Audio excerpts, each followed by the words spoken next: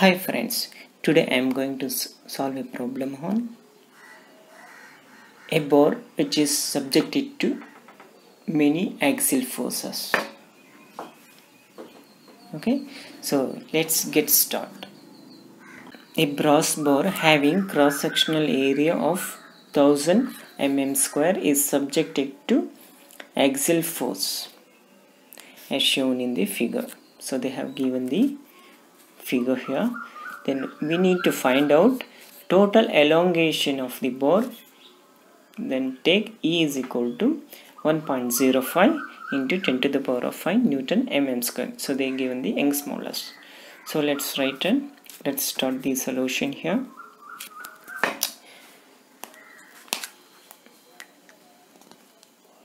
So these are the given data. That is uh, cross sectional area of the bar they given that is 1000 mm square and Young's modulus also they given 1.05 into 10 to the power of 5 Newton mm square. Fine. So now here you can see so what all other data they given? They given the loads and so lengths of the points also they given. So for simplification so this is a single bar. We going to divide we're going to divide into three blocks. Fine. So here block AB and block BC and CD okay? So now we have to write a loads on each bar and the direction. Okay? So that is that will make you easy to solve the problem. Fine see here. I'll just close this one. You see here. So first I'll just close this thing. So this is a heavy block. And just close it okay? So I'll just write it out. 50 kilonewton at point A okay? So we should be aware that so before start the solution we need to understand the summation of forces or loads in one direction that is equal to summation of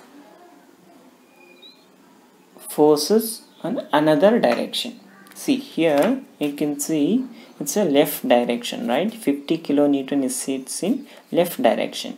So so what are left direction? Let's count out. So 50 kilonewton plus 20 that is 70 plus 10 total 80 kilonewton which is acting in left di direction right?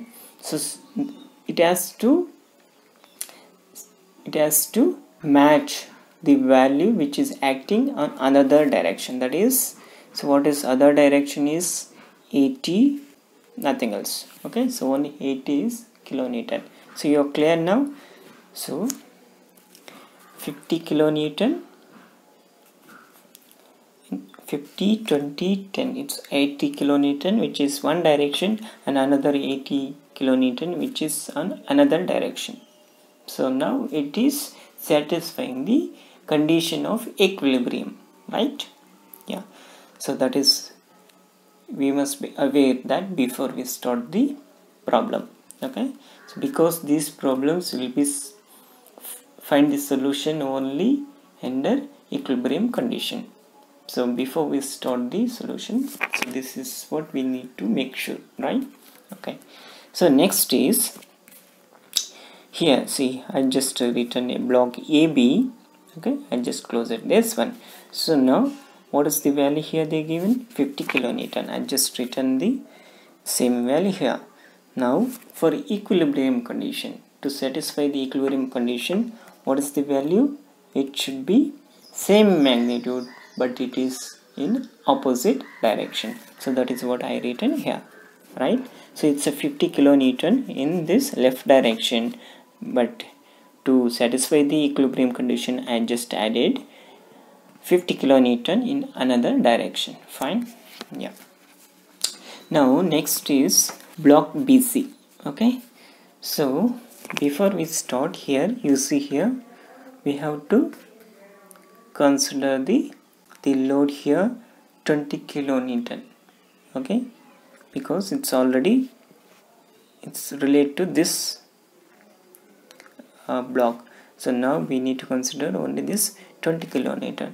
So you just close this one and just add 20 kilonewton here okay? You can see here 20 kilonewton which is acting in left direction. So to satisfy this one what is we need to add here? So we should add 20 kilonewton opposite to this this load. You're clear right? So that, that is what we should be aware that. So to satisfy the equilibrium condition so magnitude should be same but it should be in opposite direction. You clear right? So same way. Now I'll just close this one now you see the 10 kilonewton which is acting. So I'll just write it on 10 kilonewton. Now to satisfy that one what I should do I have to add the magnitude of 10 kilonewton which is opposite in direction. So that is what I added here. You're clear right? Okay. So this is what uh, this figure says. Now after that I'll just uh, added this length L1 that is 600 mm and for BC it's a L2 it's given in meters so I just converted into millimeter.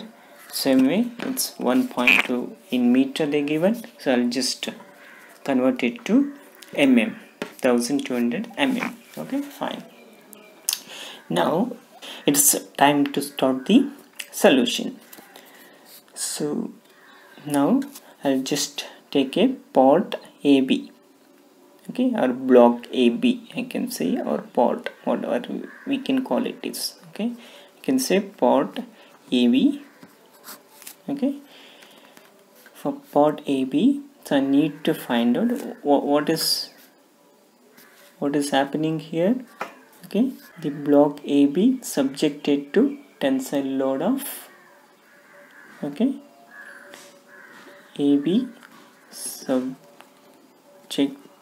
to axial load. It is 50 kilo newton okay? So this is what it's given here. Means we, from this diagram you can understand this is the axial load tensile. Sorry I can write it tensile load. Yes anyway it's all axial loads but here the difference is tensile. Okay tensile load. So we should write the tensile load not the axial load here. Anyway it's by default it's axial load but here it's both sides pulling outside. So that is we call it a tensile load. Okay so now to find the uh, what actually we need to find? We need to find the total elongation of the bar. So first we have to find the elongation of this piece of bar okay? So for that so I can I can say uh, delta L1 okay? This is the elongation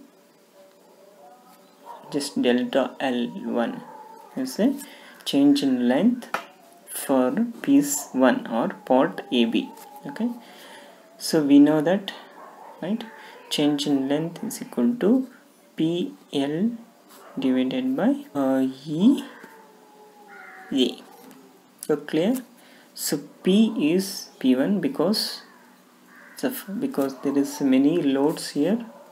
So I'll just take this one and L also one I can take and anyway cross section is the same. So need not to give a a1 okay? And Young's modulus also it's a constant okay? So now substitute all values. We know p1 that is 50 into kilonewton we have to convert it into newton.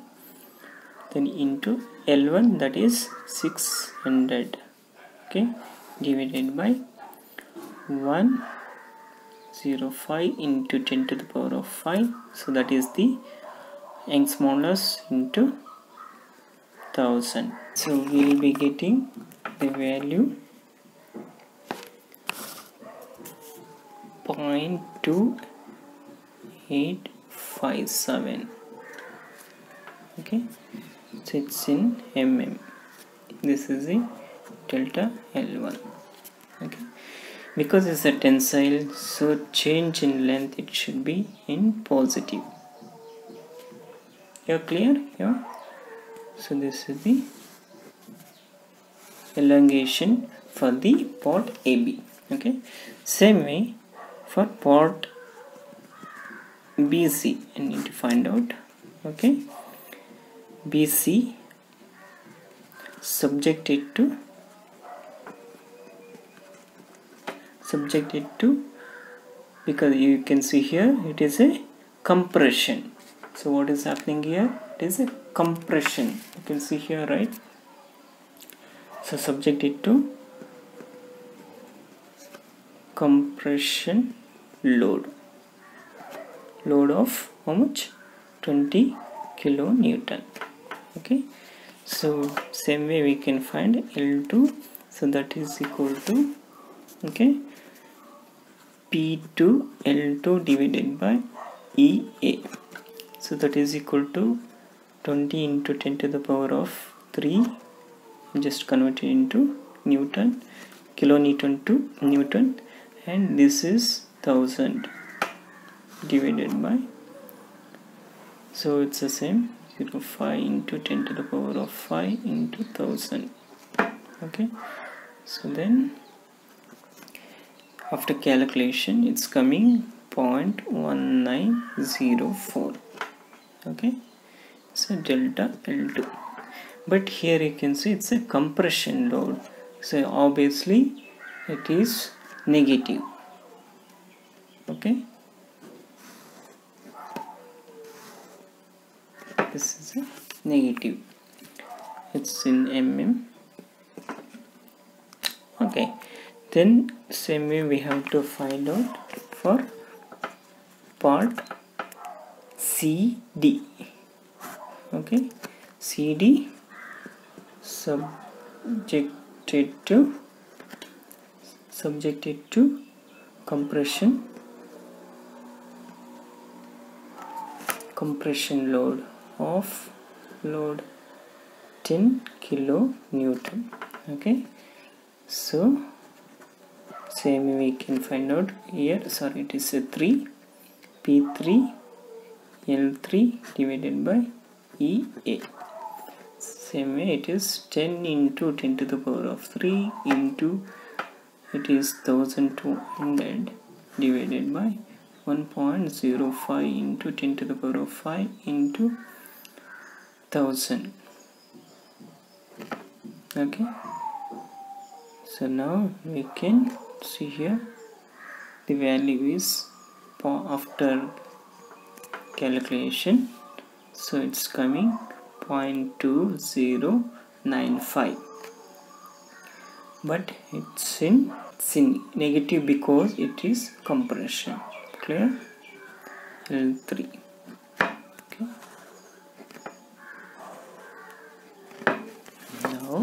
So now we can find out total. Elongation of the bar. Bar. So that is equal to